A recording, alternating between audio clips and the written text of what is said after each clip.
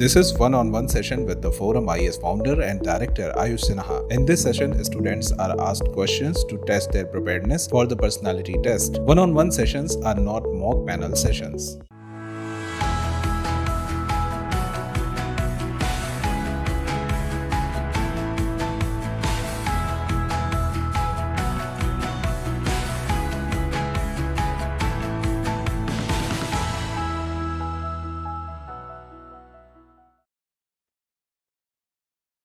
Yes, please. come. Good afternoon. Have a seat. Thank you, sir. When is the date of your interview? So it's still not allowed. Make yourself comfortable. I'll ask you a couple of questions first. Sure. Comfortable? Yes. So, Arjun, can you briefly begin by introducing yourself to me? Yes, sir. So, so my name is Arjun Gupta uh, and I come from the city of Jammu. Uh, I've done my schooling in Jammu itself till class 12 and post that I went on to join IIT Kanpur and did my bachelor's and master's in economics and graduated from there in 2020. Uh, during my college days, I had the opportunity to represent the college in National RBI Policy Challenge, and we won that competition uh, among, like in India.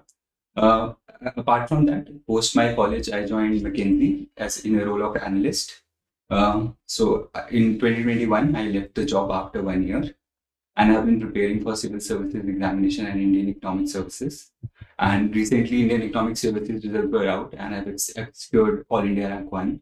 Uh, and apart from that, during my leisure, leisure time, I do yoga and meditation. And I also try to watch sports as much as possible, uh, especially with special interest in cricket and badminton. Arjun, you have so much background in economics. Tell me, during the lockdown, Yes, we saw that while the Sensex was booming, yes, the GDP was contracting. yes. huh? There was a negative. What is the reason? What is the reason behind this type? So, firstly, I think there is a, uh fundamental reason that Sensex is forward looking, while GDP is the current state of economy. And secondly, in terms of savings, because rich people or the higher income households, they actually saved a lot because there were less travel or less expenditure on other things, which led to uh, much more savings and they were investing in the stocks, which led to boom in the uh, synthetic market. So these were the two primary reasons, according to my knowledge. You're also from IIT Kanpur. Yes. Kanpur has a dubious distinction when it comes to its uh, contribution to the Ganga River. Yes. What is it?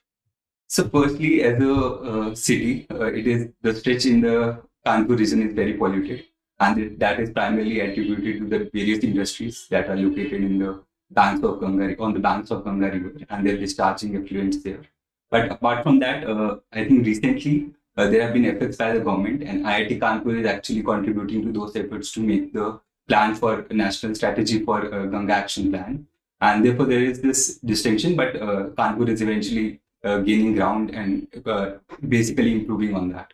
Uh, you've worked with McKinsey and you've done so. What is the reason that, despite you have so much interest in economics, what is the reason that you want, want to move to a more generalist profile? So, I've worked in economics, I've done research during my college days, and I've also been in McKinsey. Uh, but I feel uh, I want to work at the grass, grassroots levels uh, because uh, recently I also did a project with an IAS officer, and I realized the kind of intelligence that is available on the ground. Because as economists also say that uh, the recent macroeconomic framework is based on micro foundations. So being working on the ground, I'll be able to much more analyze that kind of micro level uh, behavior of the people. And maybe at the later stage of my career as a journalist, I would be able to get, get good exposure to different sectors. And eventually, if I want to specialize in economics, that would also help me to gain uh, knowledge from different sectors. It eventually contribute much more to the But then why civil service? So because it is one of those jobs which allows you to work on the ground uh, with ha- having direct contact with the people, understanding their behavior. Uh, and apart from that, I think uh, my stint at IIT Kanpur also exposed me to work on the ground during my counseling service uh, student participation. person from India recently Yes. uh, received the Nobel Prize in Economics. From India recently, uh, Sir Abhijit Banerjee uh, in 2018 received the prize. Is he an Indian? Uh, he was Indian origin, uh, but I'm not sure of the current status. Uh, but And who else along with him? uh, in 2019 or uh, the, Abhijit Banerjee. It's, uh, so Esther Duflo and one more economist. I'm not. How is she related to him? So she is married to him, and she was also her, his postdoc student. Why was he given the Nobel Prize? So uh, he was basically awarded no- Nobel Prize for the RCT, randomized control testing, to analyze how the economic policies or the basic policies work in the country. Uh, by having a control group who are affected by those policies and who do, whose do, uh, those are not. So basically analyzing how the policies work between have and have nots. What are the major challenges before Indian economy today, according to? So firstly, I think would be the inequality, which is on the rise in the backdrop backdrop of pandemic and the unemployment rates that we're seeing. So there's uh, this issue of K-shaped recovery that is growing. So we need to I understand. often hear the word W-shaped recovery. Yes. What does this mean? So so basically means uh, like uh, economy going down, then recovering to some level, and then again going back, and then recovering. So it's kind of a W-shaped recovery in the sense that it's not stable, but up going up and down. So in the Indian case, what sort of recovery are we seeing? So there is a mix of V-shaped and K-shaped recovery uh, because some levels of economy are back to the pre-pandemic, so there is a evidence of V-shape. But certain sectors like MSME, they have not gone back to the actual levels, and we are seeing a rise in inequality where corporates are doing well, but MSMEs are not. GST has finished five years. Yes. Uh, do you think it has killed the MSMEs? So I would uh, not say that it has killed. Uh, it's a new law, a new regime, which would take time to uh, like release its benefits to the people. And I think it has actually helped the MSMEs in the sense that it has reduced the compliance burden, it has reduced the cost that was earlier there. And uh, we are seeing that ease of doing business is actually helping the MSMEs in that sense. Uh, if the parliament to frame, were to frame a good law, Yes. what would be the criteria of a good law according to you? So good law would be something which is based on uh, constitution, constitutional morals, uh, the preamble, the fundamental rights. They That should- is okay. It is in Yes. with the constitutional value. That is one test. What is the other test? The other test should be it should be easily be uh, uh, like people should be able to understand that law easily, and the implementation should be good because we have had the best laws, but the implementation is something we are lacking at. What is triple balance sheet problem?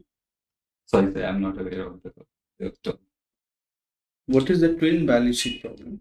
So twin balance sheet is when we have uh, on one hand uh, the corporates having high debt levels, and on the second hand we also have uh, banks which who do not have very much liquidity at hand to support these kind of uh, corporates to deal with the debt burden. So on the both sides there is a increase in the def- uh, the the uh, defaults or the bad loans. UP does not have a big industrial base, Yes, but GST collections from the state are very high. yes. What is the reason? So, firstly, uh, GST is a consumption-based uh, regime that we have uh, recently announced, and since UP is the largest consumer because of the high population, there is an increase in GST collections.